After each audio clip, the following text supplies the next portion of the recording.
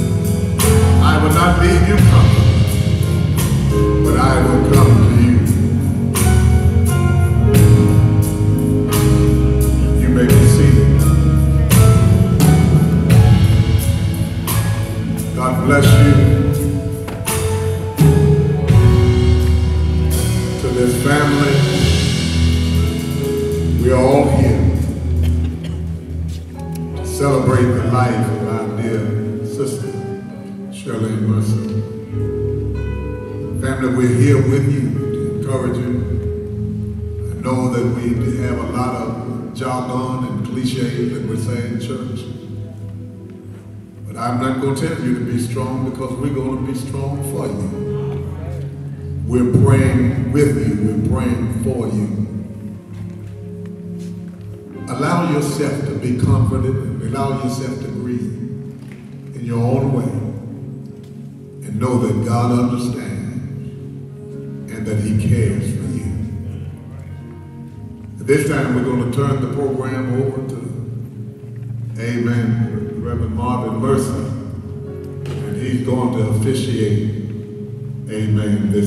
this homegoing celebration of Sister Shirley Lewis.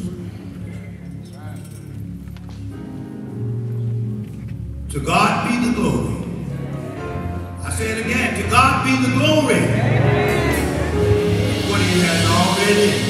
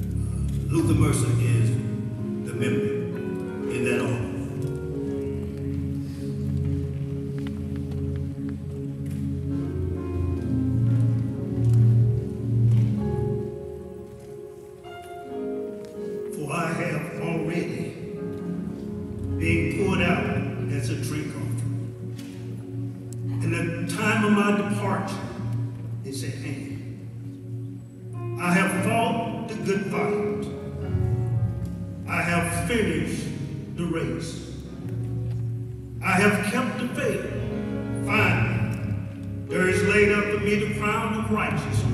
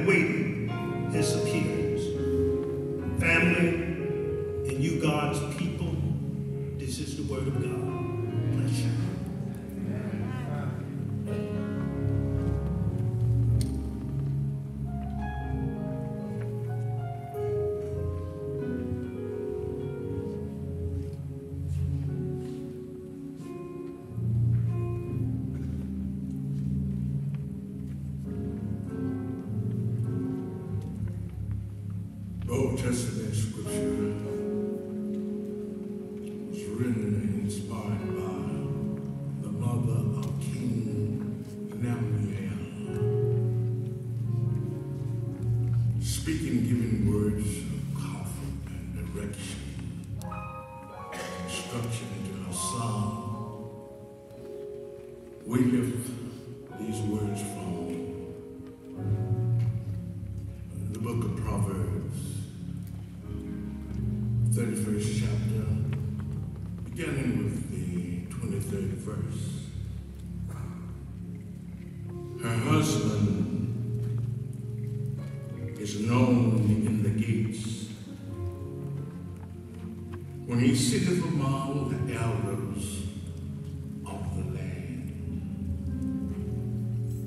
She make a fine linen.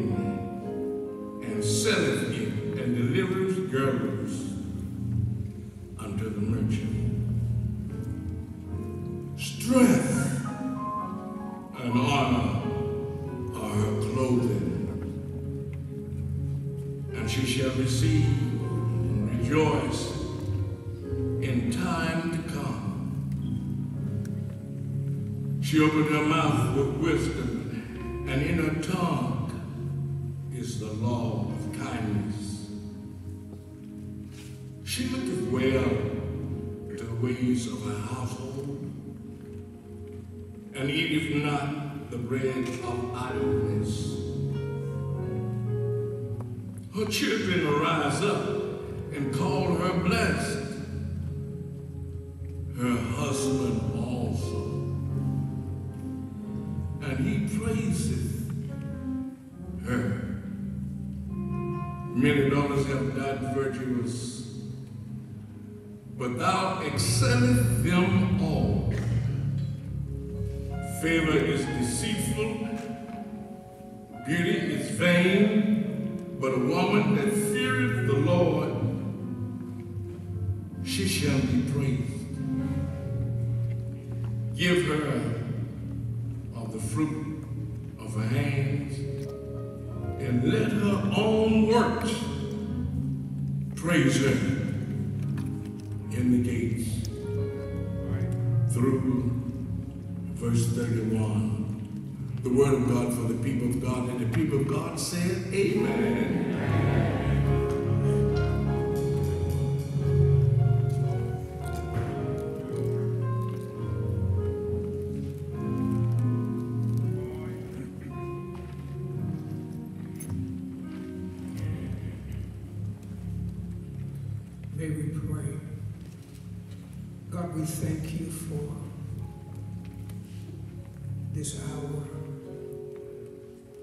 We thank you for uh,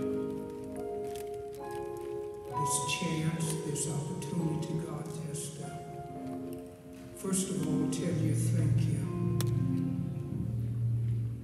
God, we thank you for this family.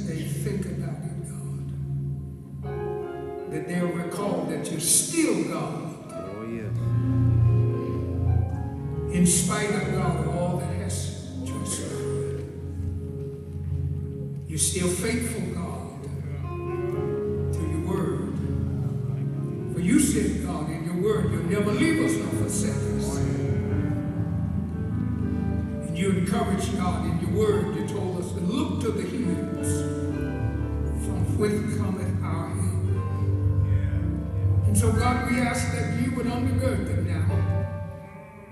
Undergird this husband. Undergird, God, this daughter, this son. Undergird all the family. For God, we know that you've also said in your word, God, that weeping might endure for a night, but joy cometh in the morning. God, we live long enough to know that all of our morning seasons come at the same time. So God, we lift them up before you now. We lift them up, God, because we praise you for the life and legacy of our sister. We know, God, that you loved her and you love us because when she couldn't go on any longer, you decided, God, it's time to come on up.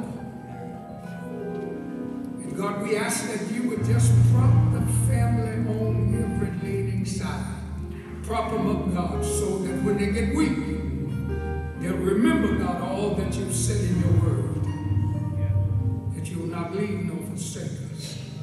For one day, God, if we prepare on this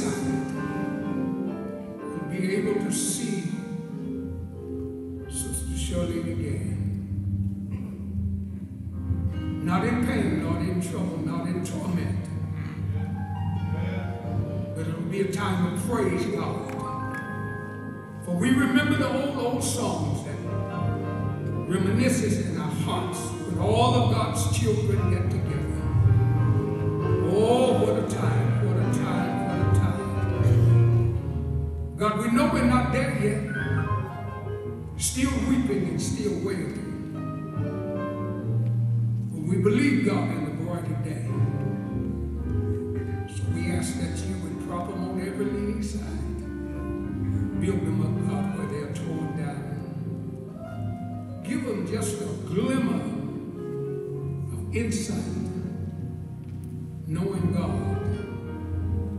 you just walk through your garden and show us that beautiful bouquet. And you make no mistakes.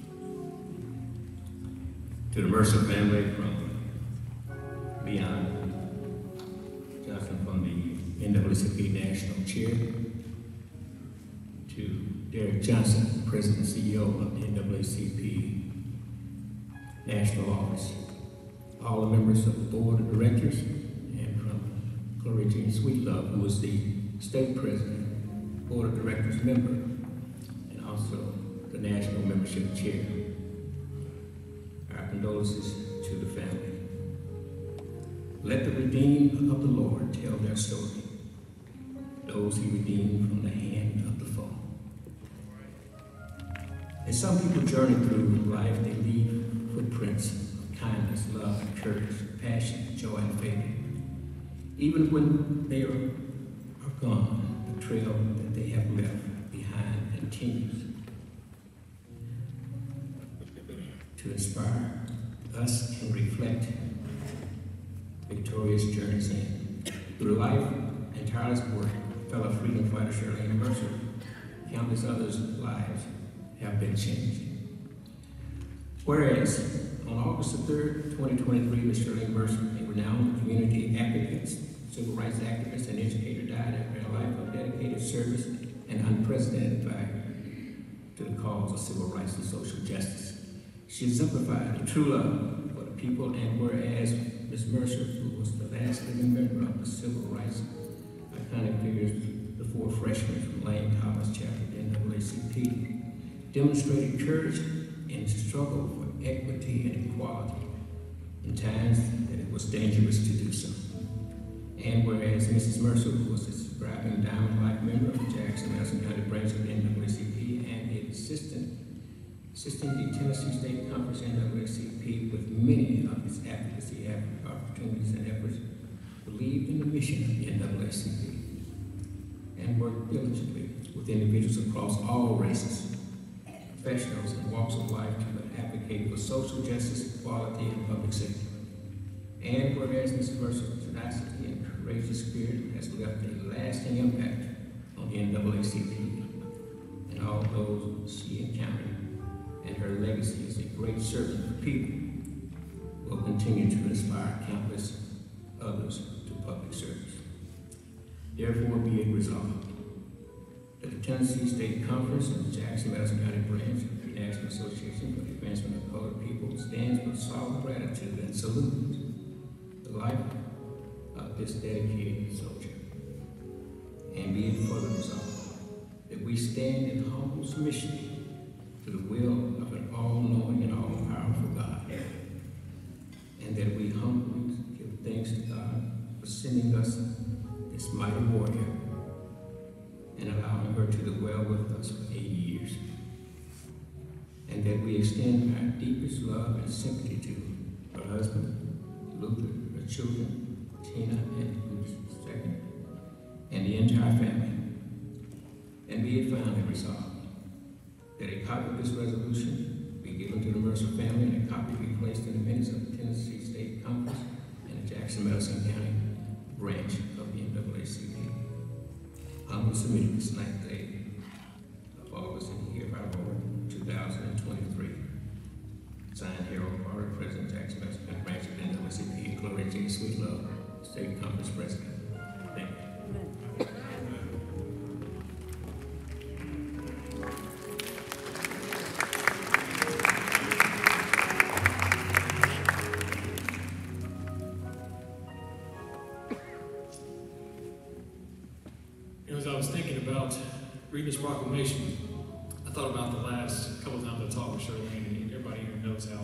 Direct she can be. Um, I think, I can't remember, the phone conversation or we were in transitional care, that uh, we were in the runoff relationship. You're in a runoff. Yes, ma'am, in a runoff. So who are you running against? Before I could answer, she said, well, it doesn't matter, you better win. And so uh, that was the kind of advice she gave. So uh, look around the room, we're all here today in more ways than one because of Shirley Mercer. Proclamation reads, also unrecognized before I read that, is our city council members I'm on the I think, second and third row here, first row, the first row here. Thank you for being here and representing the city of Jackson. Whereas Shirley Mercer passed from this life on Wednesday, August 2nd, 2023. Whereas Shirley Mercer was born in Jackson, where she attended public schools and graduated from Merry High School. Shirley continued her studies at Lane College and later graduated from the University of Memphis and became a public school teacher and taught for 24 years. We could stop there, that's She was married to Luther Mercer and mother of Tina and Luther II. Whereas she was a member of the Freshman Four, a group of brave Lane College students who entered Woolworths and sat down at the whites only lunch counter and was arrested on several occasions. Whereas Shirley was a living legend in the Jackson community. Her determination and drive to defy Jim Crow laws and fight for equal rights was the foundation of her life. She has a lengthy record of civic activism, from fighting for civil rights in the 1960s to leading marches against crime in neighborhoods across Jackson that included honorable recognitions from numerous dignitaries and prominent officials such as Vice President Al Gore, Governor Don Sundquist, Governor Phil Bredesen, Senator Bill Frist, Congressman Harold Ford Jr., and former NAACP Director Benjamin Hooks. Whereas in 1989, Shirley became the Director of District Services for Congressman John Tanner. She was named One of the Year by Delta Theta Sorority, inducted into the Alpha Kappa Alpha Sorority Community Affairs Hall of Fame, and awarded Living Legends Award by the Jackson chapter of the NAACP. And the list goes on from there. Whereas her passionate belief that people should be treated equally, that everyone's voice mattered, combined with a natural ability to bring people together, led Miss Mercer to a life of public service. And whereas we remember Shirley Mercer's family and recognize their support of her, her family was the foundation on which she stood so she could serve her beloved city. Whereas the city of Jackson, we honor the pillars of our community, such as Shirley and Mercer, who devoted their lives to equal rights and stood bravely in the face of hate to create change. Her legacy will live forever in the city of Jackson and Jackson community. So now, therefore, I, Scott Conger, Mayor of the city of Jackson, Tennessee, do hereby proclaim today, August 9, 2023, as Shirley Mercer Day in honor of the legacy she leaves in Jackson. Thank you.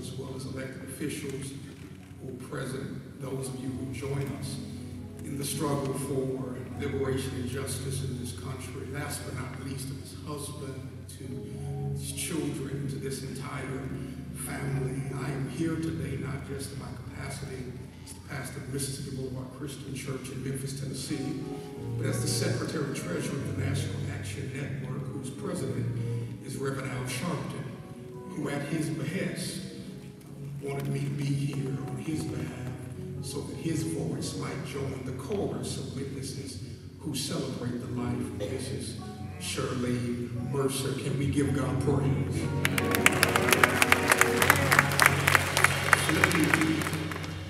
Reverend doesn't have a lot of whereases and whereases and being resolved, but he wanted to offer this statement to the Mercer family. I'm sorry to hear about the loss of Mrs. Shirley Mercer. Well, I never met Shirley, and I learned that she was a strong proponent for civil rights in West Tennessee. Her activism and leadership will be greatly missed. Again, my most heartfelt and deepest condolences are extended to you and your family during this difficult time. Sincerely, Reverend Al Sharpton, President of the National Action Network. I leave you with the words that God spoke to Joshua at the death of Moses. He gives this promise, as I was with Moses, so shall I be with you. I will not leave you nor forsake you. Amen.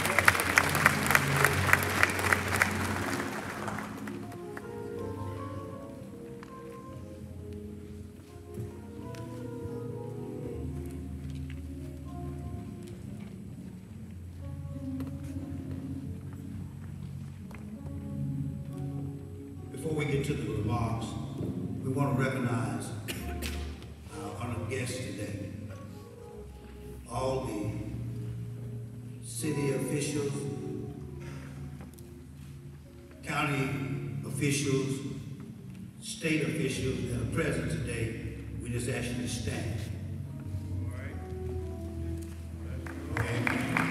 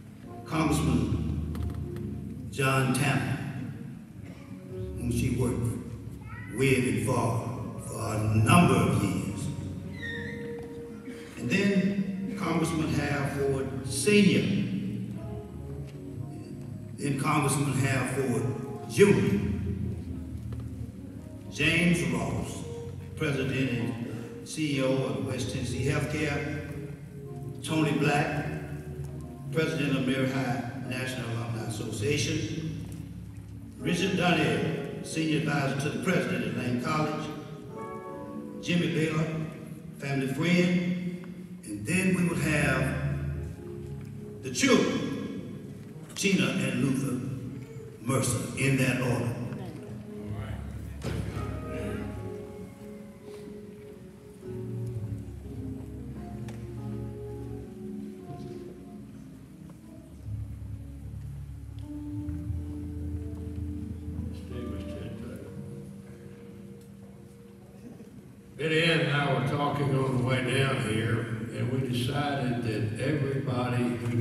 Shirlene Mercer worked for whether they knew it or not. I'm John Tanner, and I used to work for Shirlene. You know, I was thinking about yesterday when they had the visitation at St. Luke's. August 8th, a significant date in Tennessee history in the Civil Rights Movement because it was on that day that the military governor, Andrew Johnson of Tennessee, recognized what Abraham Lincoln, the President of the United States, had done on January the 1st, and that was the Emancipation Proclamation. Shirlene worked all of her life on emancipation. And she is emancipated today. She has struggled for the last two or three years, I know strongly, but she's emancipated today. Shirley Mercer, wife to Luther, mother to Tina and Luther Jr., and a woman who had a burning desire to make this place better than when she found it. I can see her now singing the old spiritual. I'm pressing on the upward day, new heights I gain every day. Still praying as I outward bound, Lord, plant my feet on higher ground. She knew that song. I knew Shirlene for over 35 years and we became friends almost overnight.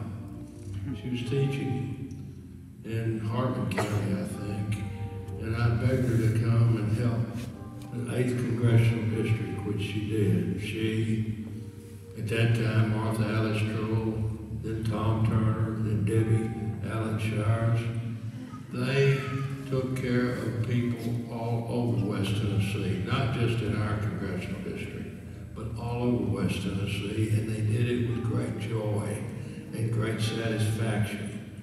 Now, of course, when Harold Senior and Harold Junior had the ninth district, we didn't have to worry about that. But the seventh, we did. Anyway, Shirlene was someone who gained great joy in helping others, particularly children. JR will talk about her time, I'm sure, on the, on the hospital board, but who can ever forget Shirlene with her bandana and all of us gathering over at the old Jackson High School and marching down to a park not far from here, marching every Friday afternoon to reinforce young people against drugs, marching, marching, marching, up with hope and down with dope. I can hear it. Now, I was trying to grasp what I could say about Shirlene being a successful person who wanted to make the world better in every way for everybody. And this poem came to mind.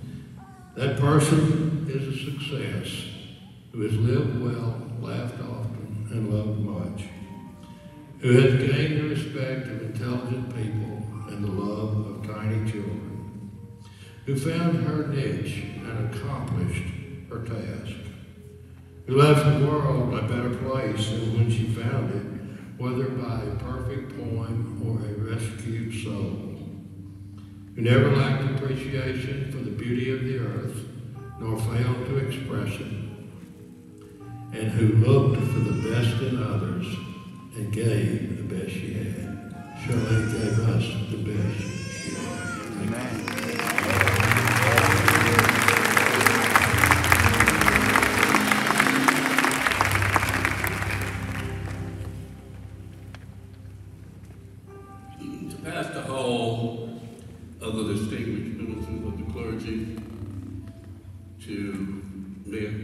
To elected officials, wow, look like the whole county and city and the state of Tennessee all here present for this warrior that we here for the services on today. And to you, Mr. Mercer, Tina Luther, and to the Mercer family. I was called the other day and notified that Shirley had passed away. I was on vacation way up east, and I immediately called my son and said, you just passed away. He said, when are you going? When is the service? I said, I don't know yet, but I'll call you back later. He said, well, I'm going too. I said, that's good. I'll let the family know. And I'm here today because of this great warrior. Now, Congressman Tanner, you made mention of the fact that she served this whole West Tennessee area, but I needed help in West Tennessee and Memphis, and Shirlene was always on the case. There was nothing that I needed or wanted, uh, not just outside of the boundaries of Shelby County, but even in West Tennessee. And you were so nice, Congressman. You would always tell me, well, she's the boss, whatever, whatever Shirley wants, that she can do it. And I had that great opportunity to have that experience and to not talk about the days at Lane College and the civil rights movement that she participated in, in which we all know how great and how sensitive she's been over the years, or was sensitive over the years. And she was a sweetheart and a doll. But now, she didn't really play. She meant business. And I gave her that right away. You know, I had an unfortunate experience to come here, you know, for a couple of weeks, you know, dealing with the, the jury selection. And I'm telling you, I've never witnessed or seen anything like a human like Shirlene. She was in the forefront of everything. I mean, I would arrive at 7 o'clock in the morning and she would already be there at 6.30 with coffee, making sure that we were comfortable. In, in my congressional work,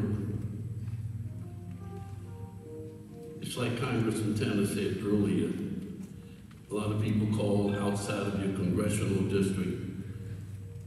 And she responded like she was a congressperson herself. I mean, she knew everybody at Social Security, she knew everybody at the Veterans Administration, she knew everything. And I would have to call Shirley, Shirley, can you tell me what, what should I do? She said, let me give you the phone number and let me call them first and then you give me five minutes and then you call. I said, go ahead on, Shirlene. Program, and you will see on the on the front page where it says, I don't have my glasses, it look like 10, 14, 42. And on the other side of that, there's a dash, but on the other side of that, it says 11 2 2023. Those two things are not that relevant. The dash is what's so important to you. Can just look at it, read the obituary, read the accomplishments. That dash represents her work and the things that she's done. And I'm here today because of that dash. Not because of the first date or the second date. I'm here because of the dash. We have put to rest a great warrior of mankind. She will not be forgotten, Mr. Mercer. She's not only loved and respected, not only here in your area, but in my heart and in our area in Shelby County as well. Live on, Shirlene. We love you. God bless you.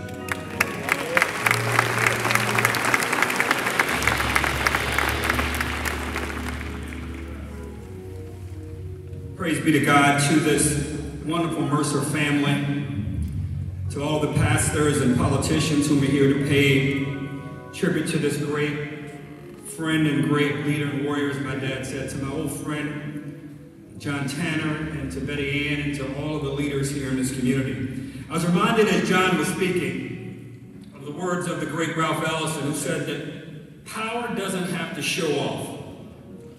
Power is confident, Self-assuring, Tina, self-starting and self-stopping. When you have it, you know it. She had it. She not only had it because she wanted it or she had it because she wanted it for herself, she had it and used it on our behalf. So many of the young people, I, I remember those crime marches like they were yesterday. We live in a time when our politicians lead with division and lowliness. We live in a time when our politics is not only polarized, but polluted. She led in politics with not a pettiness, with not a judgmental bone in her body, but how do you help and how do you lift up? She was led by a simple compass on which more, not only in politics, but in business and academia, led with the two. She had a simple compass.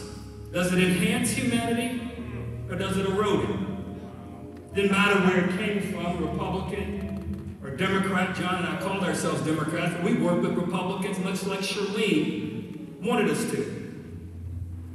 The Bible reminds us that we are at our best when we live in hope and love. She personified that not only in how she lived, but how she worked. She inspired us in all of those ways. Remember, out of living in love and hope comes love, kindness, compassion, care, openness, and an ability to forgive and heal. If indeed, Brother Shaw, we want her politics and what she meant and all of the things that she did to live on, let us all pledge today to be less judgmental. Amen. Let us all pledge today to be less petty. Amen. Let us all pledge today to try to forgive and try to live with the hope that she did. To try to work with not only that hope, but to but try to bring about those results. I'm reminded of the words of that great American, American Renaissance writer, Zora Neale Hurston, who once said, There are years that ask questions, and there are years that answer. Shirlene didn't know if she was living when they were being asked or when they were being answered. But what she did do was always try to answer on our behalf. Miss Mercer, thank you for being an example. Thank you for loving. Thank you for giving. And thank you for never giving up on us. In Jesus' name we say, Amen.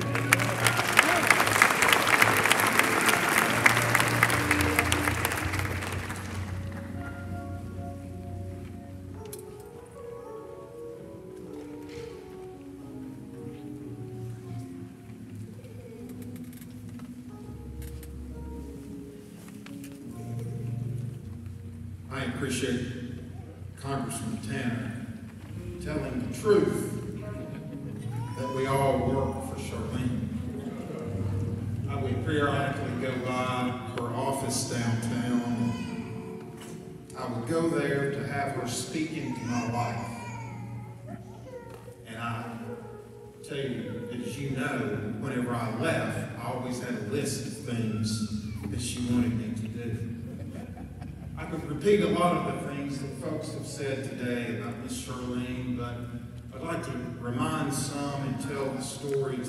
others. In 1990, she became the chairwoman of West Tennessee Healthcare, the first black female chair of West Tennessee Healthcare. She knew how to handle and wrangle the boys that were board of trustee members. As a known community activist, a known community servant who made sure the health system always recognized the employees, the folks that worked in laundry, the folks that worked in food service, environmental services. She always wanted to make sure that we were elevating, that we were taking things to the next level. So the story I'd like to share deals with her telling our president and CEO at that time, Jim Moss. Let me share with you, Jim was about six foot eight, a real stature of a man, Louisiana uh, person that uh, had a real passion. For those of you that knew Jim, know Jim, uh, know exactly what I'm talking about. But Shirlene didn't matter to her how tall he was. She made it known that East Jackson community needed health care, that it was medically underserved, that we needed to build a clinic there to take care of those uh, that were many times seeking their primary care at our emergency room. Mr. Moss said, well, let us gather some data. She said, fine, get your data. I know what I know that I know. You need a clinic in East Jackson. She was very empathetic, actually demanding, or as she would call it, raised hell, mm. that the health system live up to its mission of taking care of the communities that serve. I received a call from Jim Moss, and he said, look, we've got to build this clinic. I need you to head up this team of individuals that will go out and see what we need to do, how to build. I need you to know, I've never built a clinic. I never knew anything about running a clinic. But Jim entrusted me and several others to go forth and do that. We, uh, a good friend of mine, George Austin, we would ride around on evenings and weekends looking for the perfect spot for the East Jackson Clinic. And George and I came up with this area. It was wooded, grown up, trees everywhere.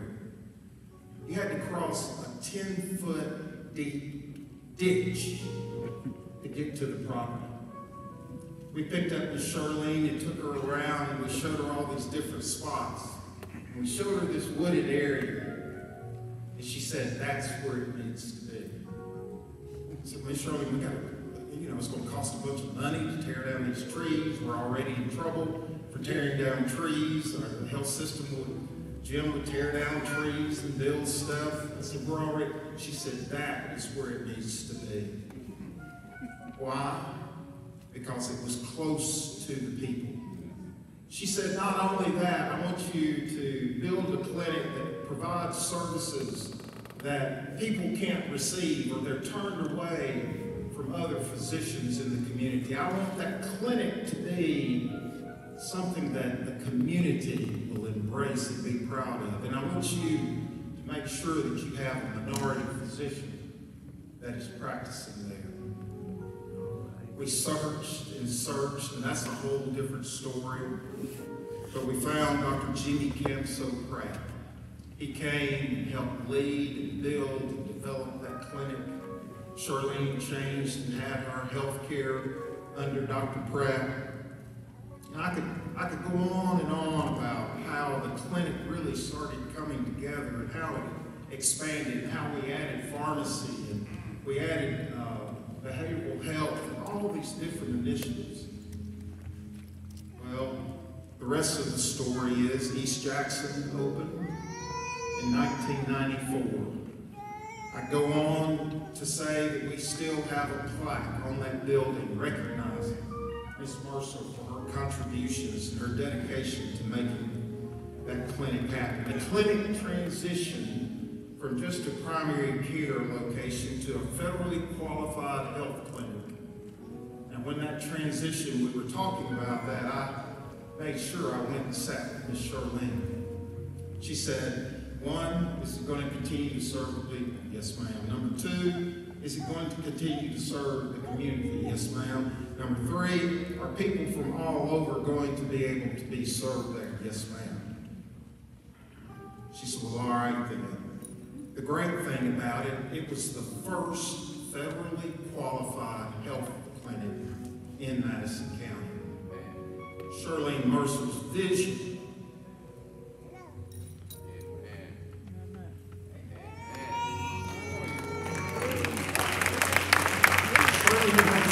today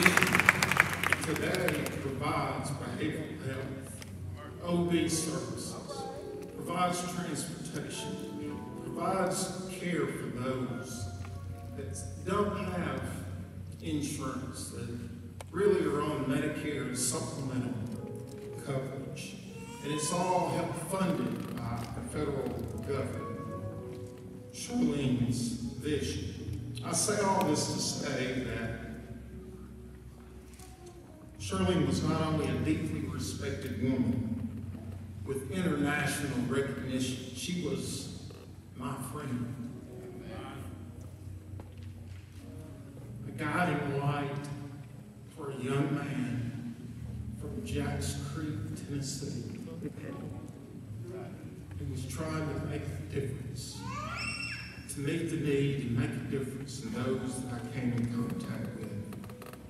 She never forgot where she came from. She never forgot who brought her to the dance. Luke chapter 12 and verse 48 says, For everyone who has been given much, much will be demanded. And it goes on, sometimes we forget this part. It goes on to say, and from the one who has been entrusted with much, much more will be asked. Miss Mercer, Shirlene, the mother, wife of what I used to call the power couple, her and LT. There's a, oh, there's there's some stories we can talk about. But on behalf of the 7,000 employees of West Tennessee Healthcare, the senior leadership team, and the esteemed Board of Trustees, thank you, Mercer family. Thank you.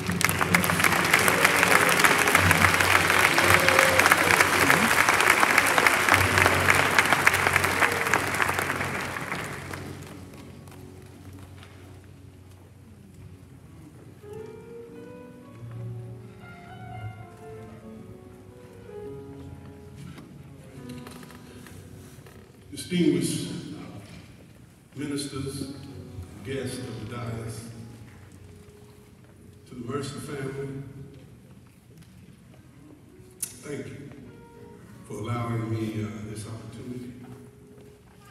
I have several roles that I'm going to play up here. Um, the first one is as the president of the Merry High National Alumni Association. Miss Shirley Mercer was a great Maryite, class of 1960. I'm so grateful to our Alumni Association and the many Maryites that on last year, it was our 100th anniversary of the founding of Merry High, and she received our Austin Mary Community Service Award. And I say this to say that I would like for all the graduates of Merry High to stand, the greatest high school in Tennessee, all Maryites.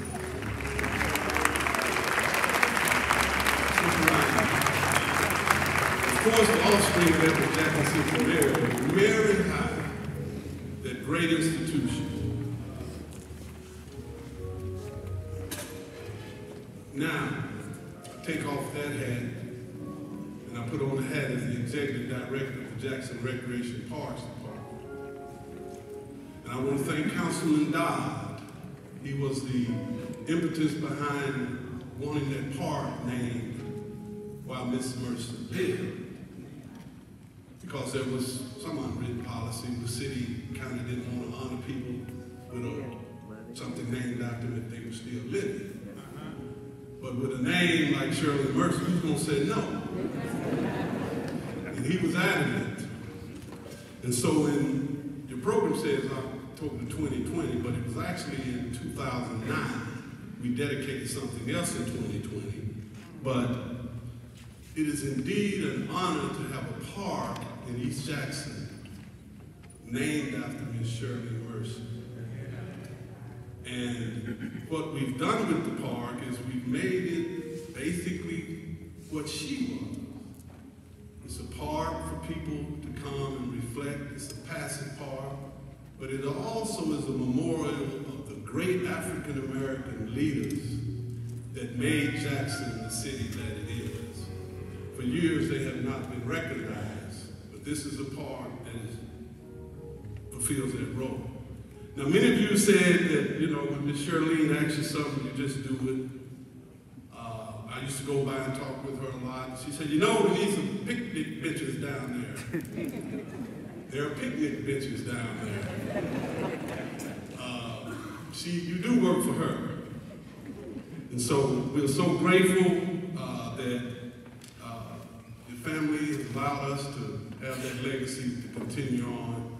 And there are those that are planning some things in the future. So we will continue to make that part a focus of, of that community. Then on the other side, taking off that hat, I worked with her. Uh, see, a lot of you don't know. See, a lot of y'all, it's a lot y'all don't know about Shirley. A lot of y'all think y'all know about Miss Shirley. But it's a lot y'all really don't know because she really don't toot her horn a lot of stuff she do. Uh, she started a foundation called CORE, Children on the Right Path. I serve on that board, and she raises money. Miss Shirley loves children.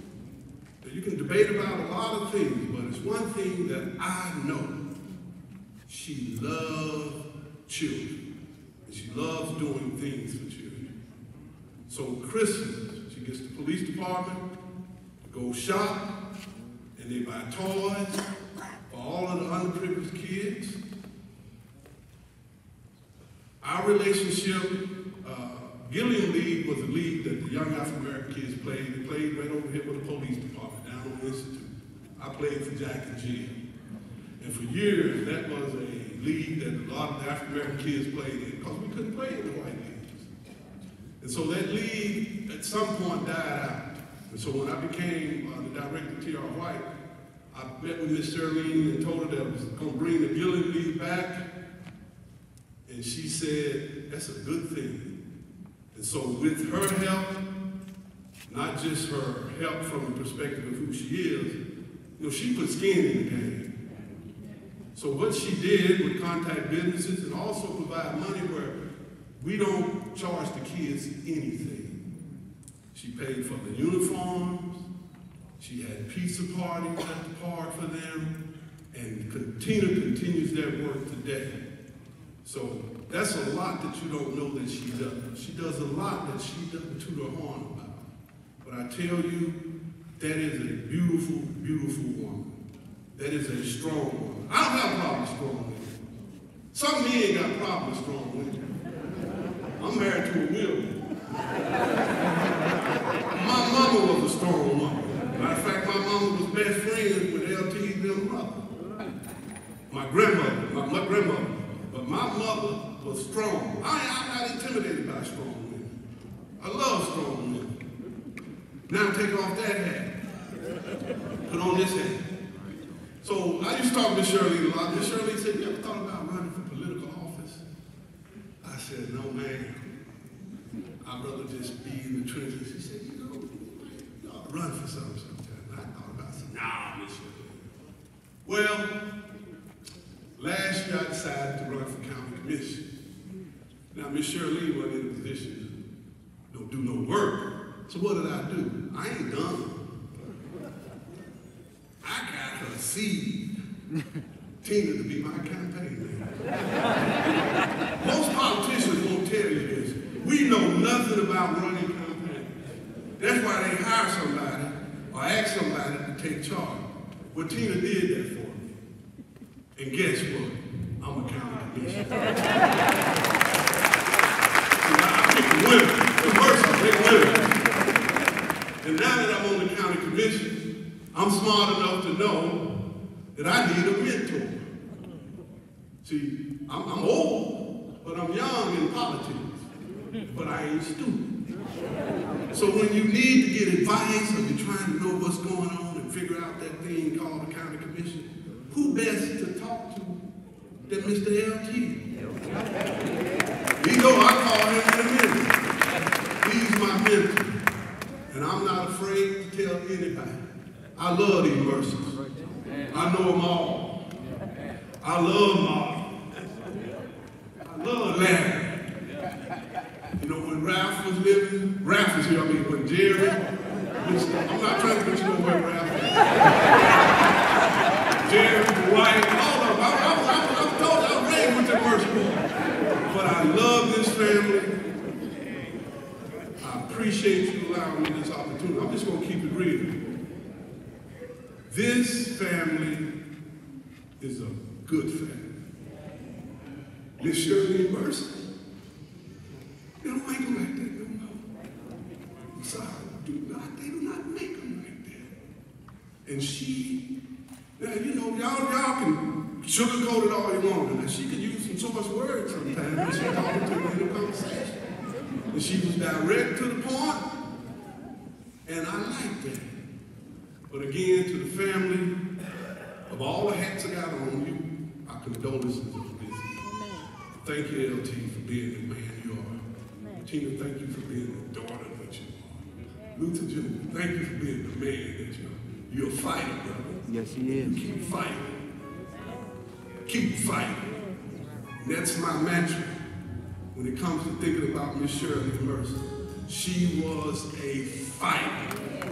And in this day and age, we need fighters. I'm gonna talk to, you know, they trying to take stuff from us. They don't to teach black history. Come on, y'all. They talking about slavery we learned from. Come on, let's get real. We need more fighters.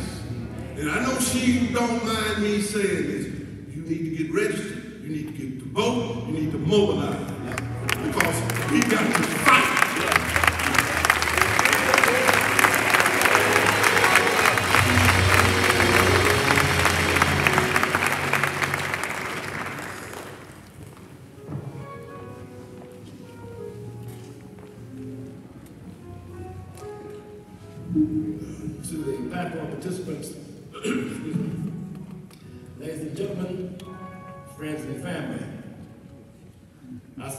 extend remarks on behalf of Lane College President Logan Hampton, the Lane College staff, faculty, students, and the thousands of graduates who have the great fortune of calling Lane College their alma mater.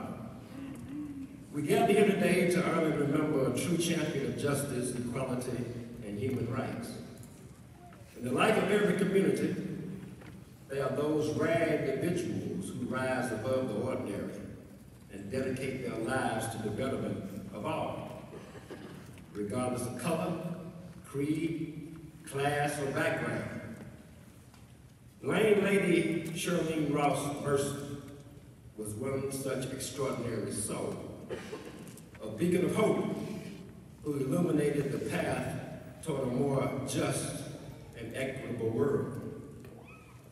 Shirlene's unwavering commitment to civil rights was not simply a career or a cause. It was a calling that flowed from the very depth of her being. She believed with a conviction that was unshakable. She believed that every person deserved to be treated with dignity and respect. And she fought tirelessly to dismantle the barriers of discrimination and prejudice that still mar our society today. Her journey was not an easy one. Shirlene arrived on the campus of Lane College as a wide-eyed and idealistic student in the fall of 1960. While most students quickly immersed themselves in doing what 18 and 19 year olds do, Shirlene was different. While they were partying, she was picketing. Hmm. While they were sleeping, she was strategizing. And while they were marveling, she was marching. In addition to her student studies, her mind was focused on the glaring inequality and inequities that existed between the races at a time when signs at water fountains in Jackson falsely declared that water was white and colored. To Shirlene, water was clear. As a member of what came to be known as the Freshman Four at Lane College, she was thrust into the civil rights struggle when she was spat upon, kicked, and arrested numerous times because she dared to order a meal at Woolworth on Main Street. After graduating from Lane in 1964 with a BS degree and teacher certification, she was forced to practice her profession as a public school teacher, not in her hometown, home county, but in a county outside of Madison, because those persons in authority here in Madison County refused to hire her as a teacher because of her prior active participation in bringing down the walls of segregation. Shirlene faced opposition, ad- adversity, and even danger, but she never wavered. She marched in the face of hatred, spoke out against injustice, and worked diligently to forge alliances and build bridges between communities. Her courage, determination, and selflessness inspired others to join in the struggle for equality, and her legacy will continue to motivate generations to come. As we mourn the loss of Lane Lady Shirley Ross Mercer, let us also celebrate the incredible impact that she had on our world. Let us remember the lives she touched, the minds she opened, and the hearts she changed. Let us be inspired by her example to continue the fight for justice and equality, to never back down in the face of adversity, and to always stand up for what is right. In honoring Shirlene's memory, let us recommit ourselves to the ideals she held so dear. Let us strive to create a world where every person is truly judged by the content of their character rather than the color of their skin. Let us work tirelessly to eradicate the systemic injustices that still persist. And let us do so with the same passion and dedication that Shirlene demonstrated throughout her life. Though she may no longer be with us in body, her spirit lives on in the countless lives she touched and the progress she helped to achieve. As we say our final farewell, let us carry forward her legacy with pride, knowing that we are the beneficiaries of her tireless efforts and unwavering devotion. So I say, rest in power, Shirlene. Although your work is done, the flame of caring, compassion, and concern that you ignited during your lifetime of service to others will continue to burn brightly until inclusion and equity are achieved for all. May God bless us all. Now,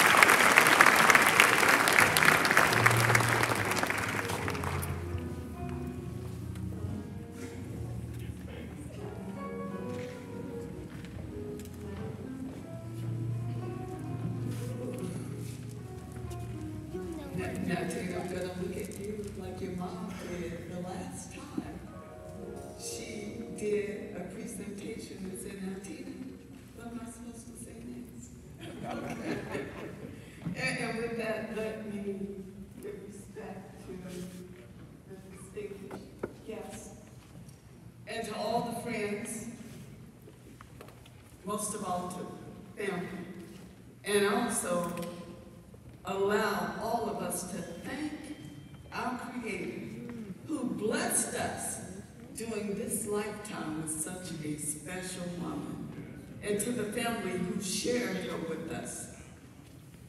I, uh, I'm going to repeat a lot of things that have already been said, but I promise you I'm going to keep it short.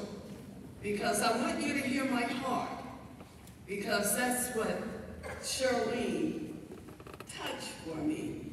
We dealt with one, one another on a heart-loving level. I, I have a statement here that says, a single rose can be a garden. A single friend can be the world. And, you know, with the marches, someone has said, up with hope, down with hope, but, what we also remember that we chanted, red, yellow, black, and white were all precious in God's sight. And that's what she echoed to each and every one of us. Because as many people that are in here today, we all had a unique, special relationship with Shirley. And it does not end here. Now, at the top of my, my paper, and I'm not going to be long, I said, let it be a call to action. You know, th this is the time of celebration, but hang on to that commitment, that hard work, that love that Shirlene exhibited to everyone that she met. She didn't make a difference with anyone. And then I thought hard and long about whether or not I should share the story about how I met Shirley Mercer. And uh, I have to discuss it with my son first. And, and Judge Little, just, just bear with me on this. I was 14 years old. Shirley and LT had a community grocery store. I was sitting on the porch of the grocery store, waiting to meet someone that I had met two months before. Now, needless to say, I didn't get off of the porch, and Shirley went out to the car and spoke to that person who became my husband for almost 50 years. But in saying that, what we all should do, and, and let me add, at the time, my father had died at 12, my mother was at work, and I wasn't gonna be on my porch, so I walked down the street, not knowing that Shirley was watching me out of her store and decided, okay, I'm gonna sit on this porch with you. And, and we had a long talk, and as I said, I didn't get off the porch. And, and for all of those who said, you end up working for Shirley, well, at 14, that's when my days of being a volunteer started at, at the, the Mercer grocery store in the community. And from that point on, Shirley kept me. She kept me under her wing. And Lord and behold, it was not my intention to be a social worker, okay? But working with Shirley, because you are here to serve.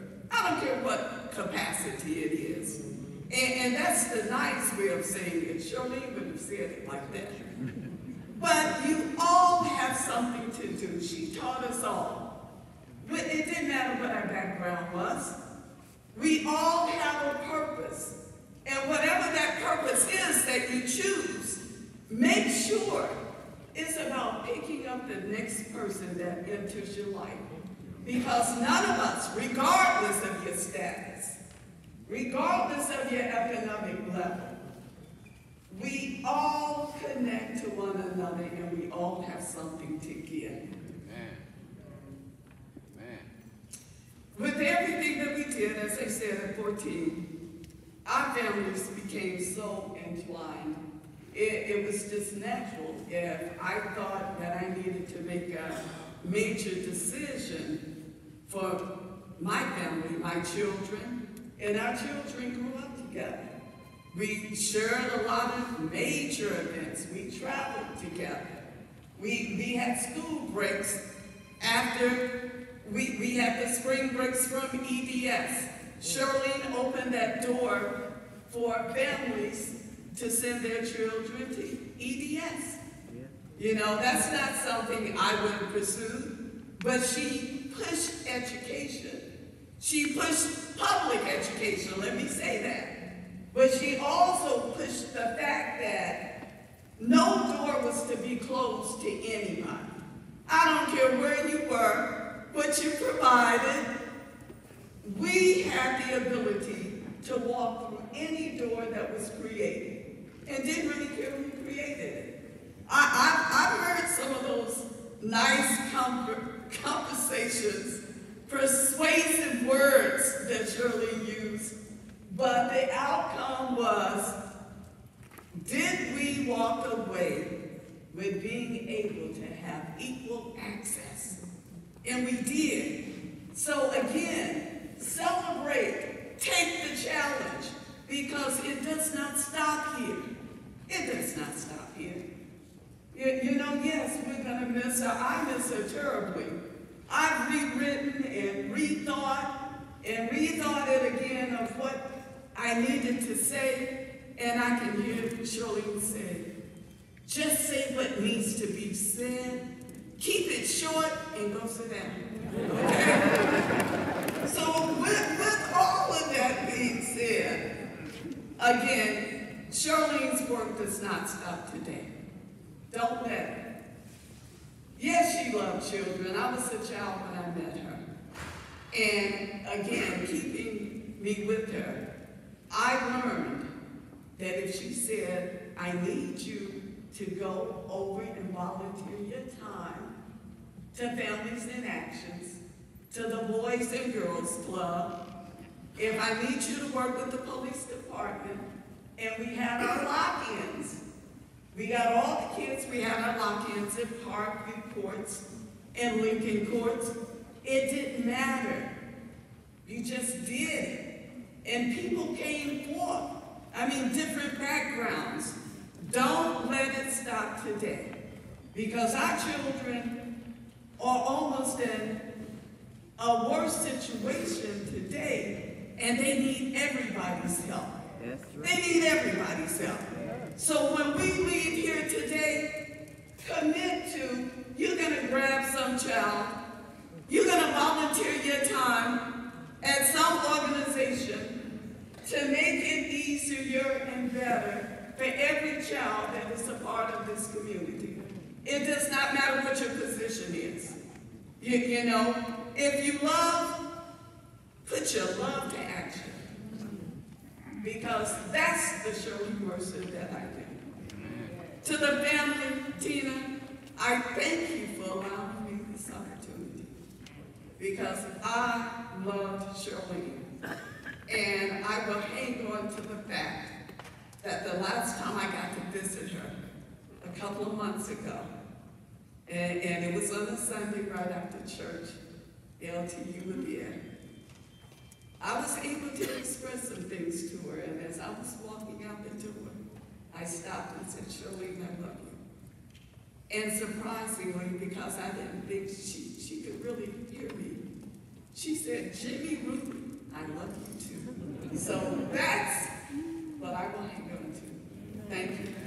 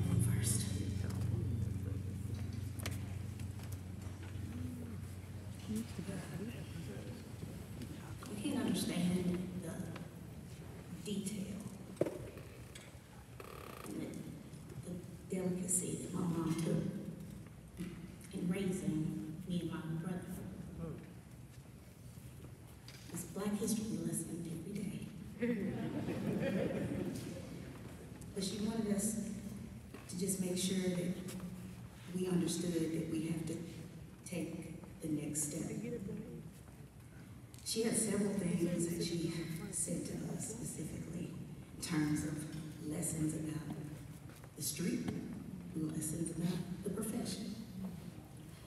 First thing she always said to me, I don't know what she said to both of us, I spent a lot of money educating you.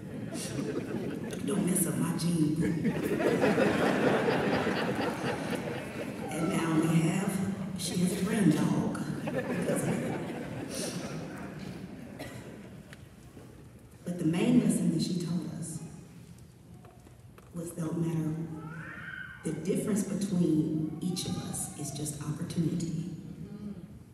And no matter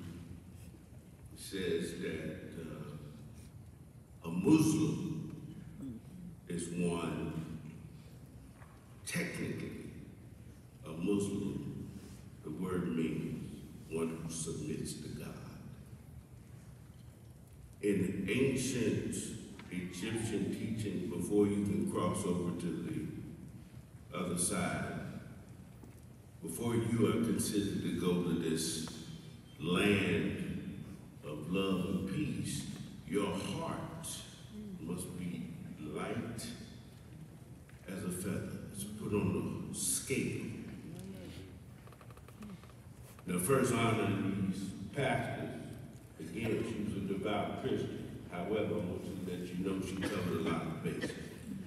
made sure that in several religions she was good. Hmm?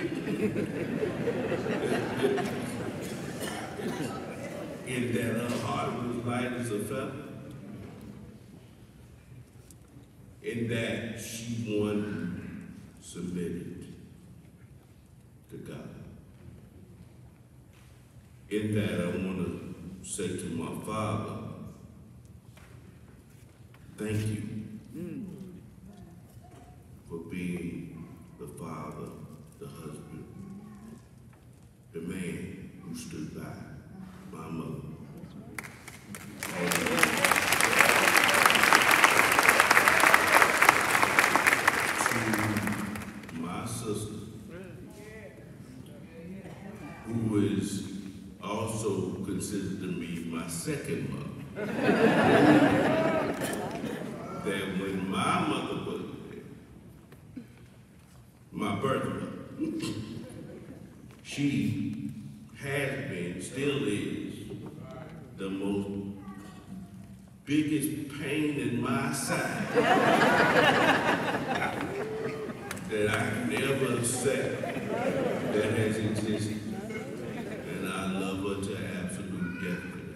She has fought for me, she's fought for my mother, and I love you for that.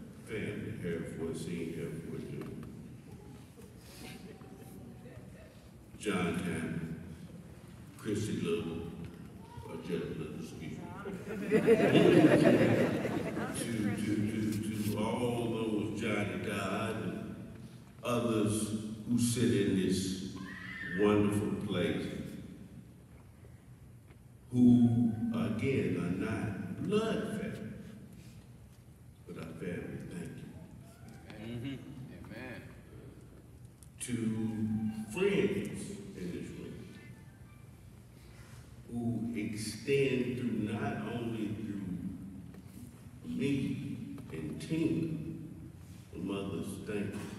Now, I'm gonna give you one or two quick stories and then I'm gonna sit down. I was uh, not always, ladies and gentlemen, on the right path. Let's just say, let's just use that term. And they say you raise your children up to be, you know, sometimes we make straight, but we, in the book it says you'll come back. Well, in this journey, ladies and gentlemen, and one night, I was out with an older cousin who happened to be a member of the street pharmacy community.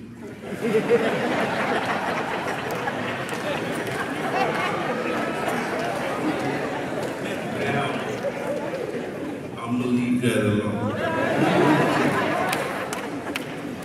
And he was older, you know, one of these older cousins, and I said, hey, look, you know, I want to hang with you tonight. Cool.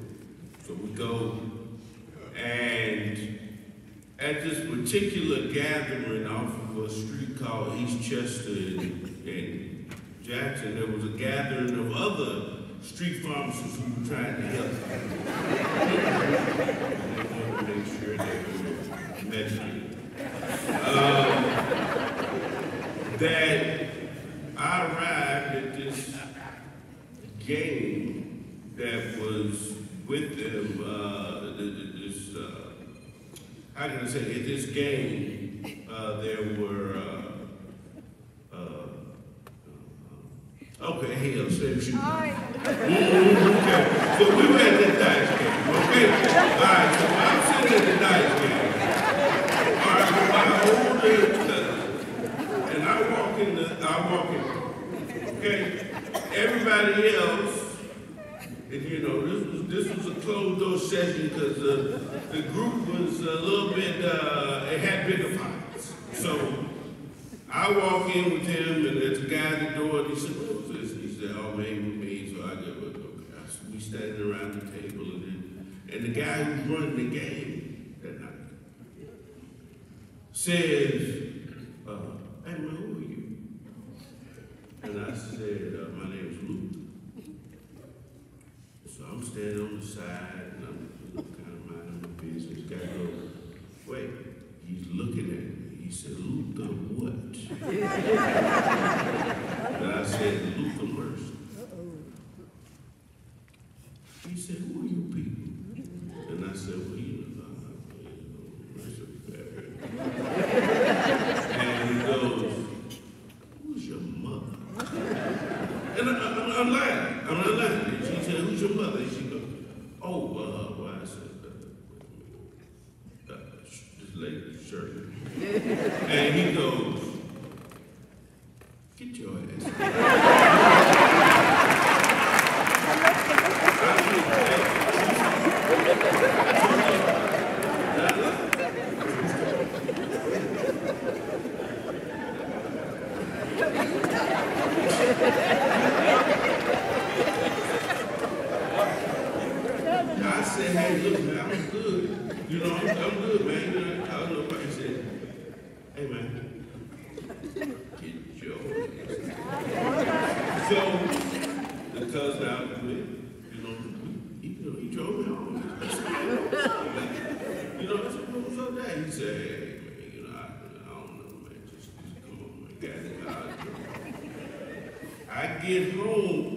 next day, I'm tell you something. I get a, uh, I, I get home from school, and this uh, my mama comes over and says, "Hey,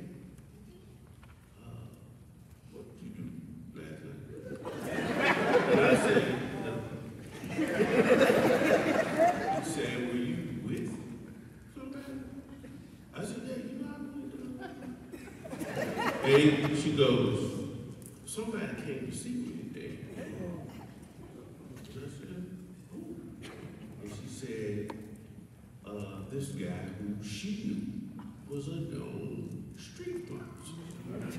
This same person who was actually running the gang Now, ladies and gentlemen, this is key. I said, okay, what did he say? said, came down and he said,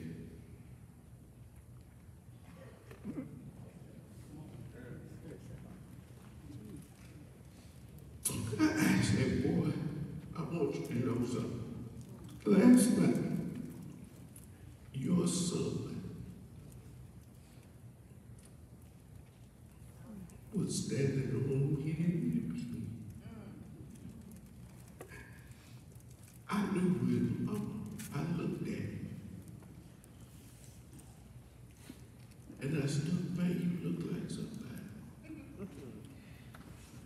previously.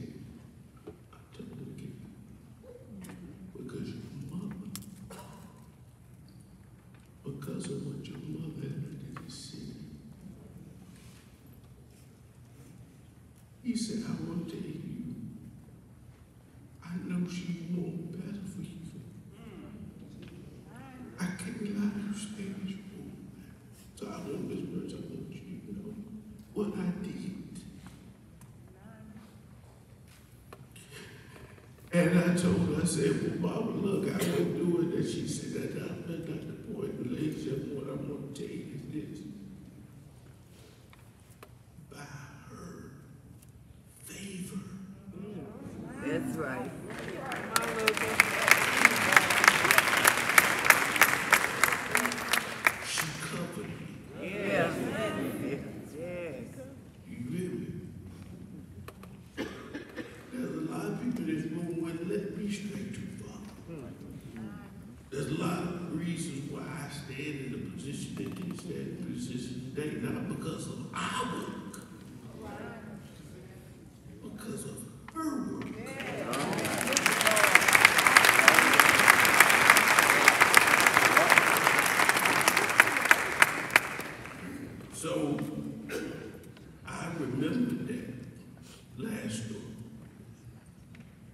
because I still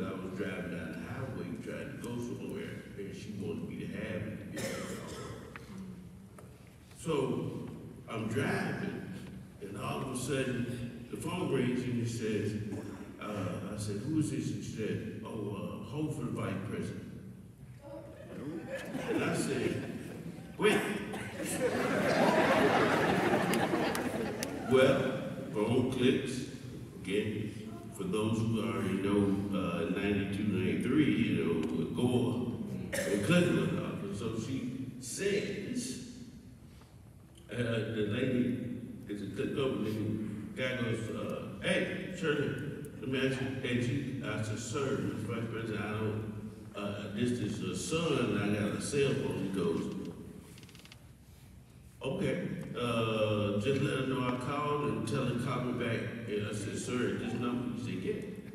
That's okay, thank you. and so, at that point, I called back. I mean, I go home and I get the phone. I said, Mom, you know, uh, uh, uh, Vice President called. She said, the Vice President of what? she said, who? Like, what Vice President? And I said, well, hell, I, you know, I mean, the Vice President of the United States. And she goes, what do you want? I don't know. to that invented the internet? I don't know. All I know is that he called to talk to you. And he, I said, she goes, oh, well, okay, I'm gonna call him back, you know, he does the number on the phone. I said, yeah, I didn't erase it. And with that, ladies and gentlemen, I said, I've always known mother. I said, there's more to this lady. you know, there's something else special about this woman that I might not necessarily understand. But I leave you with this. Thank you so much to everyone in this room for being and giving honor to my mother over the last 10 years. That song that says, give them roses while it is. But. Well, very few of us get out to do it because when death comes so fast, you can't, you, you didn't have that time. But over the last decade, y'all, you gave her roses. And my mother used to ask me the question, she said, are you proud of me? And I said, why would you ask such a dumb question? and in the, in this conversation as I end, or this, this presentation, I, I do want to say this. There's two ways that the universe knows you exist. I was looking at this 3D model online at YouTube, and they had this 3D model where it takes you from the sun all the way out into the outer universe. And it shows the vastness of the universe, the cla- planets and the solar system and the galaxy and the, the void's void. There's two ways that I thought about that the universe even knows you exist because we're no more than a speck in time in relationships. One is legacy through your children. All right. Two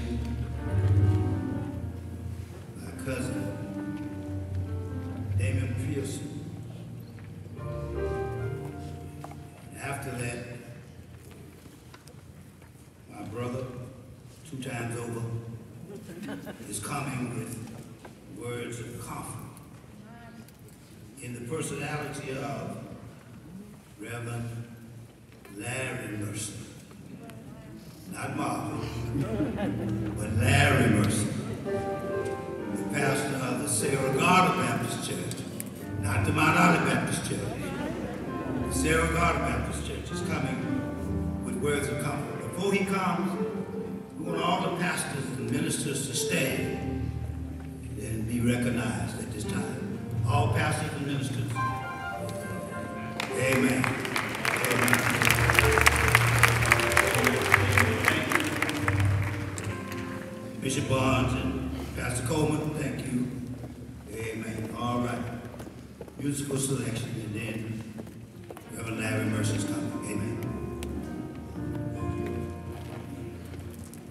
Good afternoon. I'd just like to take a, a moment to celebrate the life of Miss Shirlene. Uh, family, if you will, can I celebrate with you? Brother Luther, in front of you mentioned being light as a feather. Because um, one of these days, we all got to fly away.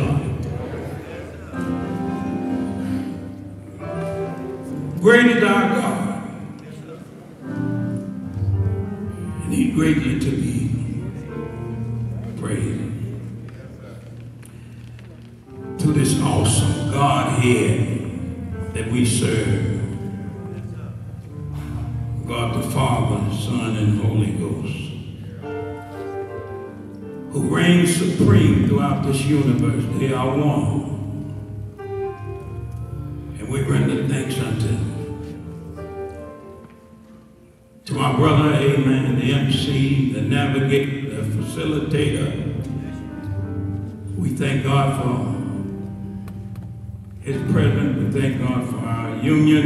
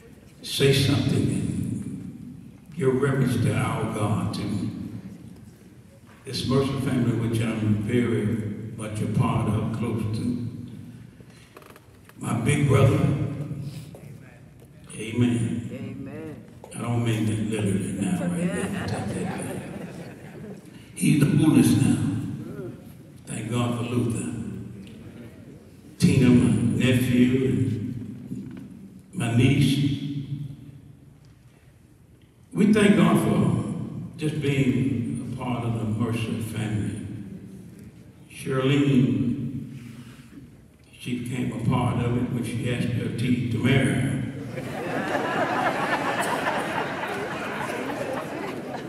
Yo did say she was in charge of everything. In LTC, I do. you glad you did, Praise God. It is a joy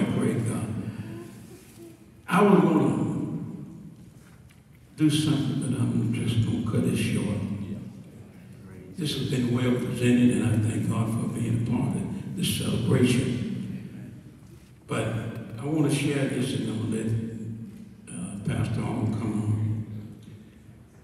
When Luther called me LT he called me when the morning that Shirlene passed. He said, you need to get out of here.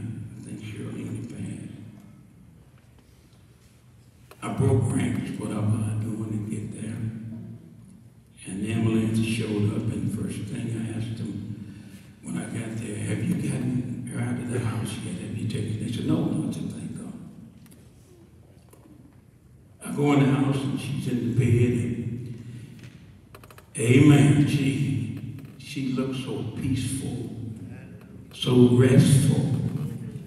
It's like she was asleep. Had her head on the pillow, turned to one side. And I said, thank you, Lord. Out of all the transition back and forth to the hospital and transition of care and home. I bet it was 20 trips back and forth. Praise God. We prayed mightily every time we entered the room. Pray God, Charles blessing upon her that he was sustainer and undergirded with his power. Didn't like to see Shirley this vibrant, energized person that just was on the go all her life. But now she is resting. And you know, it's ironic that they built a walking trail park in her honor. She couldn't even enjoy. She couldn't even enjoy. But let me tell you, God is so good. Seeing her down that morning with the I got to thinking about the word of God that's so comforting. What is this all about? She, she's made her transition. This is the house she lived in. This is the part that God shared with me. Paul said in 1 Thessalonians 4, verse 13, I will not have you ignorant, brother, concerning them which are asleep. Woo! Certain things you need to understand when it comes to death. You don't need to be absent-minded of the very thing that's transpired. I will not have you ignorant concerning them which are asleep. She's sleeping. For here's what the Bible said for comforting. If you believe that Jesus died and rose again, even them that sleep in Jesus, will God bring with him? For this to you by the word of God, that they would sleep, hallelujah, God gives you revelation about what he wants to comfort you with in times like these. Amen. And I know, amen, there are those of us who, family especially, it's hard to digest this. Yes, it is. But let me tell you, when death invades our ranks, when there's, amen, life that has been extinguished, amen, in this body, but you still live, amen, there's a spiritual side of it. We're looking at the natural side. Hallelujah. And looking at the natural side, we go through all these things mentally. Oh, we're not going to see her no more. She's gone. No, Shirley never been more all right in all the days of her life. Hallelujah. And God wants us to understand, rejoice in the Lord. Rejoice. She's all right. Glory to God. She's not dead. And he said that when we, amen, accept the fact what Jesus did on Calvary, we won't die. It ain't no death in Jesus. It's life. I came that you might have life and life more abundantly. Well, what is this all about? What are we doing? We're having a no, no, no. We celebrate her life, amen, that was here. We can glorifying in heaven. Praise the Lord. Amen. When we're absent from the body, she made her transition. Slept right on the way.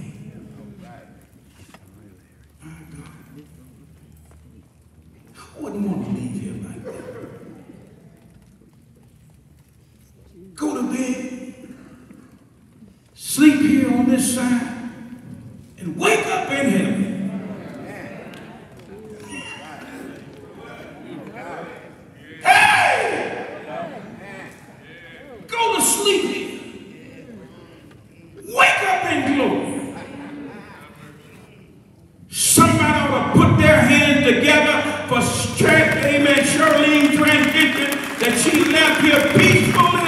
She left here, amen, without any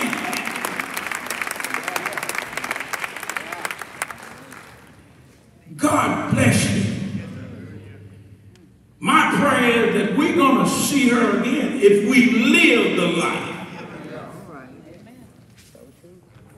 Oh, she was saying, we would pray. Shirlene, with that little deformed hand, would grab my hand. We would pray, hallelujah. And sometimes when she couldn't hardly utter a word, when we got through praying, and I said, Amen, that mouth came over and said, Amen.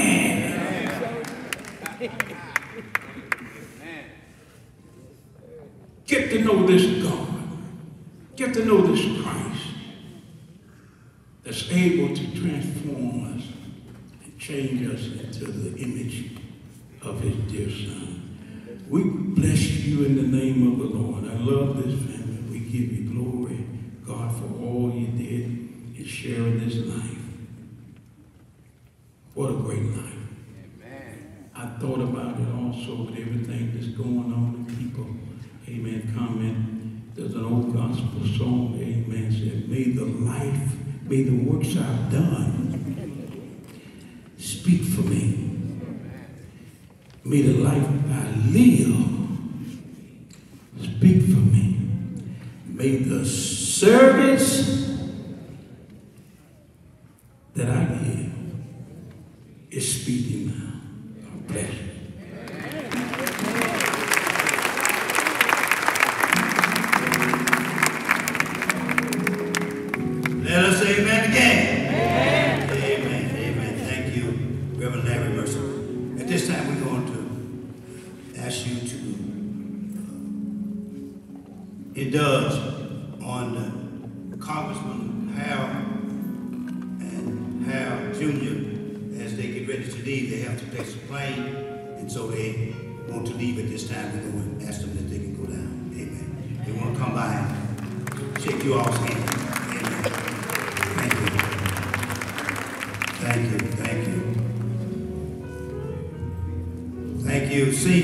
junior.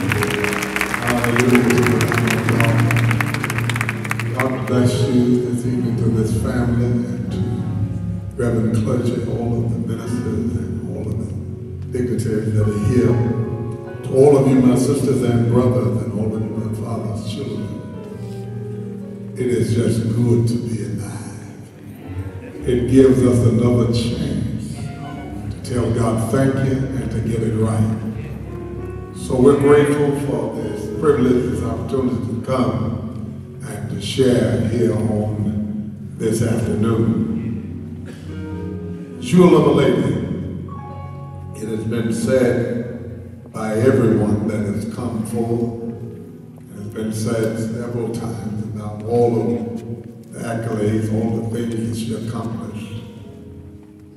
But I knew her in a few years that I've been in Jackson. I knew her as a humble spirit. Every time I'd go by the house to commune her, to share with her, she would always ask about the church. She would always ask me about my wife. And she would always want us to sing, to pray with her.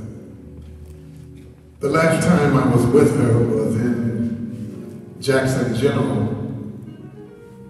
She told me she had been there some probably 10, 15 times since Christmas or since the New Year started. She had been there so many times. Many times I didn't even know she had been to the hospital.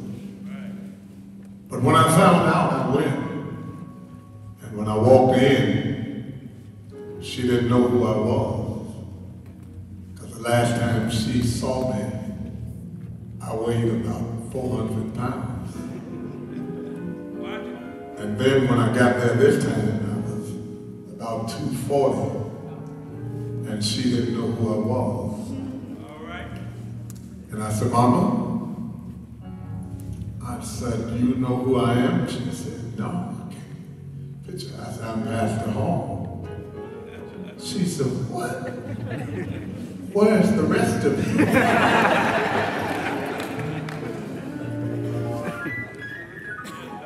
I said, Mama, I get that quite a bit now. but uh, I heard you've been sick. I heard you've been going through. She said, yeah. I've been sick a lot. I've been in and out of the hospital.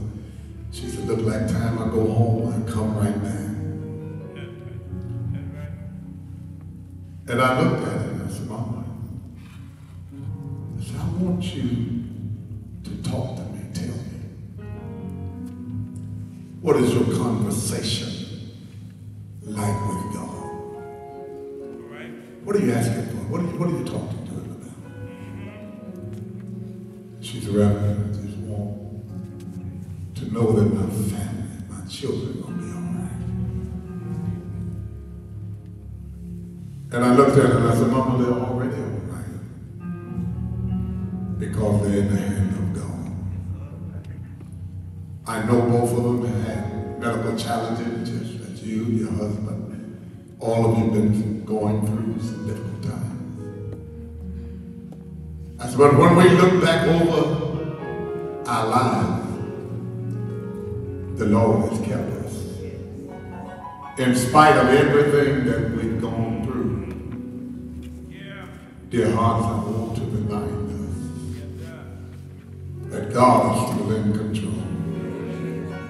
still has all power in heaven and earth in his hand. Our God is still a healer, he's still a deliverer. He's working miracles even right now. So, after our conversation, I prayed with her and I told her I had to go.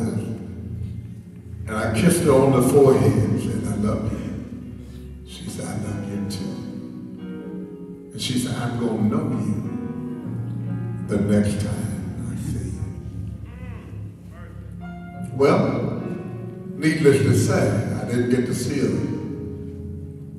again on this side. But she promised me she'd know me the next time we see each other.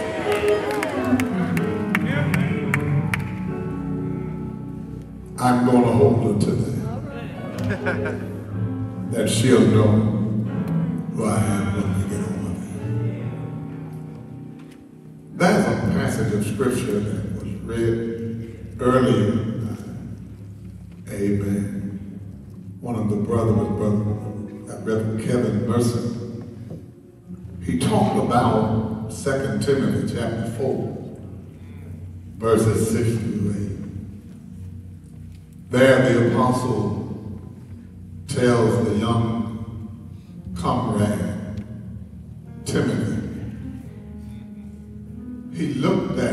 said, as for me, he said, son, my life is already been poured out as a drink offering. He said, my time has come, the time of my departure is at hand. I'm getting ready said, but I want you to know I fought a good fight.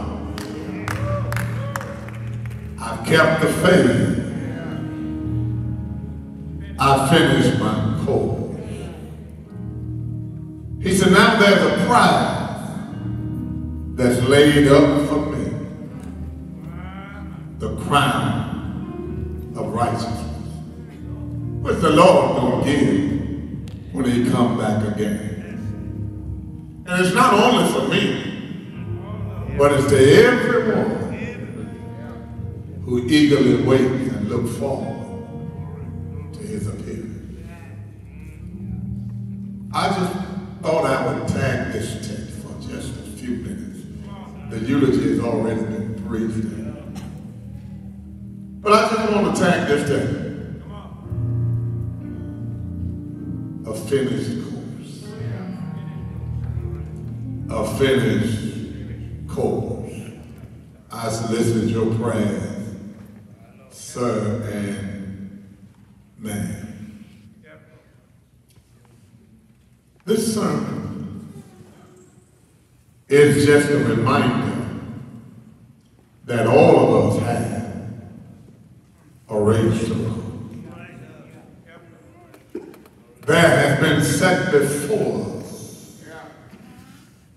Conditions and provisions have been made for you and I to carry out the assignment that God has placed upon our lives. Many a time it looks as if though we've been asked to do stuff that we don't feel comfortable or feel that we're worthy or able to do. And a lot of it we're not. And one of the things that impressed me most with God, I hear people say all the time that he won't put no more on us than we can bear. But I want to tell you, he's put some stuff on me that I felt like I couldn't bear. But what gave me constellation was I realized I didn't have to do it by myself. What I couldn't do for myself, God was able to do through me. And so I would step to the plate, not knowing what the next moment was going to bring, less known the next hour or the next situation. Not, not being concerned about all of that, but believing that I had a word from God. And I know that when I get a word from God, that everything that I need in order for me to fulfill what God is speaking to me is already in the assignment or already in the word that's spoken to them, me by God. You think about it. There's creativity in his voice. When he stepped out of nothing into nowhere and said, let there be, and the world came into existence. Just because of the rumor, the breath, the aura of God, because he spoke to the situation, it happened. Can I tell somebody that today that I don't care what you're going through, it doesn't matter. If God speaks to your situation, the creativity, the power for you to be sustained and to develop and grow has already been released in the word he spoke to you. I remember, I remember earlier this year, uh, being in the hospital, I was laying there in the bed before surgery, the night before surgery, and and and and and and, and, and I was wondering and just praying, and God let me come through this. And and I saw a shadow in my room. And that shadow stood, but it never would, I never did see his face, but I felt a presence. And I knew it was the presence of the Lord. And he said to me, he said, what do you want from me? I said, God, I want to live. I want to be healed. And I sit there and I wondered, and, and he spoke to me by spirit and said that I healed you when you asked me. He said, but now you got to trust the process. I didn't know what the process was going to be like. I didn't know what I was going to have to go through. I didn't know what I was going to have to endure. But I found out on the other side of it that I've been healed in spite of it. Listen, listen, listen, listen. God is an awesome God. My mama used to use a term all the time. He may not come when you want him, but he's always right on time. And I believe that Paul was trying to encourage young Timothy because in chapter 3 it already told him that the wicked times would come and that where men would, would love fables and they would heap to themselves teachers, they would have itching ears. He said sons and daughters would be, would be disobedient to their parents. People would love anything but money and themselves and they wouldn't care about nobody. He had told them that there was going to when people would not endure sound doctrine. They didn't want to hear the gospel anymore. He had told them all of this. And we're living in those times. We're seeing this even now in this society. But the confidence of knowing that in the midst of all of this, God prepares us. And I keep hearing people talk about it's going to get better. No, it's not going to get better. Not, not according to Scripture. It's going to get worse. Wicked are becoming more wicked. Evil is becoming more evil. I mean, the reality is, when, when I look back over the 64 years that I've lived, I've experienced a lot of things and seen a lot of stuff in life. And times have changed. And believe it or not, they have not got they have not gotten better. But the world has gotten worse. I remind Greater St. Luke all the time that we may be 2,000 years more from Calvary. And it may seem like that old fogey and isms and, and things of the past, none of that matters anymore. But you got to remember, he said he's coming back. So if I'm that far from Calvary, then I may be this close to his return. You got to remember that if you're taking a journey, the farther you get away from where you started, means the closer you are to where you're going. And we got to understand this, even in this life, in this life. And, and this is this is where, where I really want. Paul shares his experiences with Timothy and said, Now, son, I've gone the last mile of the way. This is the last look out of the window. This, this, this is the last time I'm going to get to view the sunset. Uh, the days of my years have come to a close now. And he says that I spent the last of my years in prison.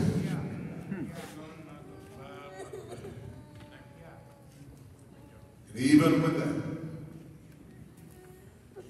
the dusty smell of the prison reminded him of the journey and was indicative of his demise.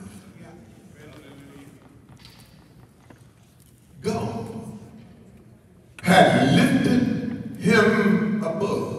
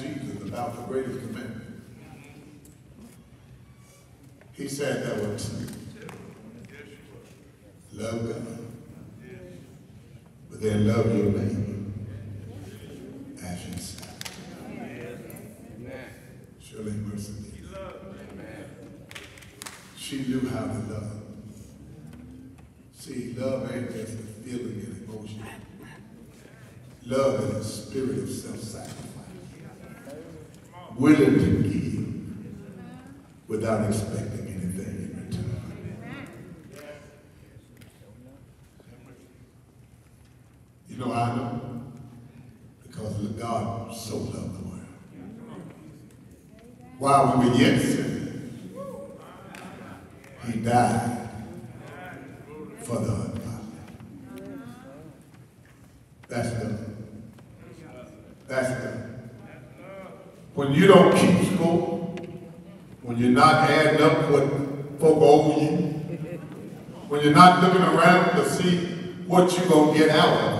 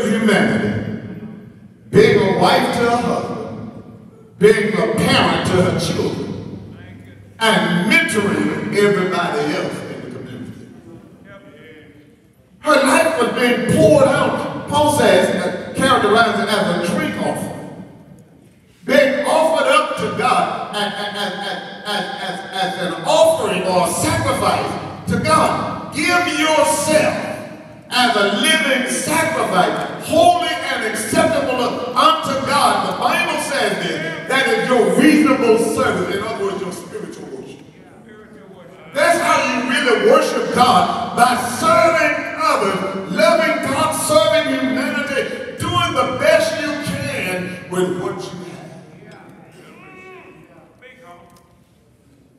She was not only ready, but she gave the final offering.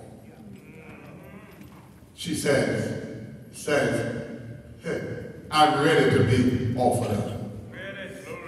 I'm ready. I'm, I'm ready to be offered. I'm in a position. I have put myself and conditioned myself to be used by God in whatever capacity or manner that he sees fit. The old saints used to sing a song, I'll go if I have to go by myself. If my mama don't go, my daddy don't go, sister nor my brother, I will go if I have to go. All by myself. That's the attitude that we must have as believers, as the saints of God is that my relationship with God is not about anybody but me God. I remind the kids at school when I'm at school every day. I remind them that the glory of being a child of God is I don't have to die for nobody else's sin. I don't have to pay for what nobody else did. I only have to give account to God for my reaction to what another person does to me. And when I stand still, I have to talk, I don't to fight. And I'm going to get to that in a minute. Because Paul talks about that, that he fought the good fight. He didn't fight this stuff that we're seeing now. Just at the drop of a hat, we want to fight about something. We want to put them up. We want to throw the nukes. We, we, we want to do the thing. He, said, I fought the good fight. I stood in the gap. I remained faithful and committed to God in spite of whatever else was going on around me. I stood for them that couldn't stand for themselves. I saw that in Sister Mercer. I saw that in her. That same ability. She fought the good fight. She fought it peaceably. Have you ever seen anybody like her that mild mannerly, quietly set you out? and do it so cute and nice. Could, I mean, literally, you knew what she meant, but she would be so nice about it. Something. Mm-hmm. Now that was with me. That's what I thought. You know, I, I learned this from the young people that that everybody don't know people the same way. I was at my niece's funeral and, and one of the got, kids got upset. Now I heard what the family said about it, but we knew something else. Said, oh, it's like that. So you all may know other stuff, and I can't deal with what you know. I only have to deal with what I know. Because every time I was near her, she treated me with utmost respect. Every time, every, every time, every time. And so she knew that the time of her departure was in, but she fought the good fight. Listen, this is where I to get. She finished. I want to tell you that we can read this program, and it's been well put together, beautiful program. It's been marvelous today. All of the accolades, all the things that have been said about Sister Mercer, all of the, the, the, the accomplishments that she made, all of the things that she accomplished in her career and in her life, all of those are phenomenal. They're great. They're awesome. But I believe that the finishing of our course was today when she got us together in one place. Amen. All different kind of people from every different background. She brought us together at one time. Yeah, yeah. To hear from God in one place. Listen, a lot of people talk about know, truth to power when power ain't there. But Shirley got us together today. She, this is the last hurrah. She brought every person that knew her, they either came in and out of the doors yesterday, or they're to say farewell and to say, we celebrate your life, to celebrate the time that we had with you, and to say thank you for all that you meant to all of us. We come at one time to say thank you and to see you finish the course. You've stood strong, you fought hard, you've accomplished many things. You've done what the Lord has assigned you to do. I believe that there's a word called will done. Good and faithful servant. Yes, sir. You've been released from this old tabernacle, this old house.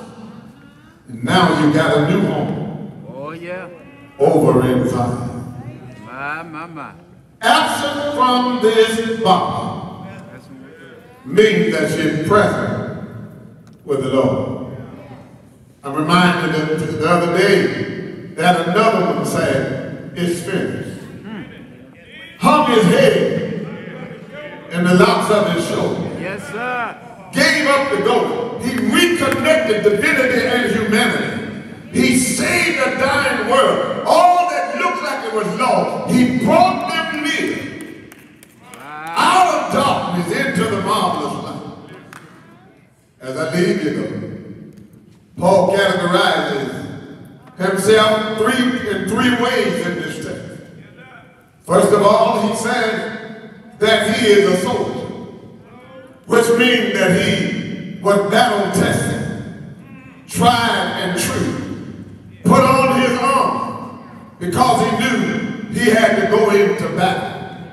Second thing was that he categorized himself not only as a soldier, but he categorized, amen, himself as, amen, an athlete a runner that had finished the race, just carrying the torch and bearing his, his own course in his own reason. He carried the torch. And, and, and now it's time to pass that torch to those that are left behind. Yeah.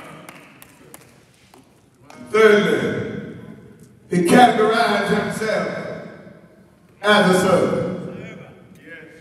One that gave himself to his master and to others. Yes, sir. So, my sisters and my brothers, if I was at Greater St. Luke, I would take you to another place. Yes, sir. Paul said, I fought a good fight. Lord. He said, I finished my course. Thank you, Shirley, for reminding us that all of us in here have a race to run. And you can't run my race, I can't run yours. Why don't you, Pop? But uh, if we stay the course and wait on the Lord, the Bible says they that wait upon the Lord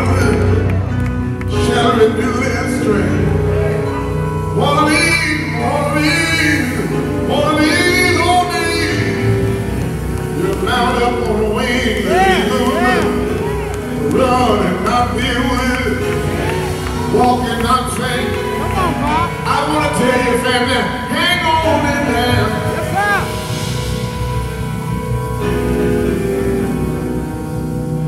She finished the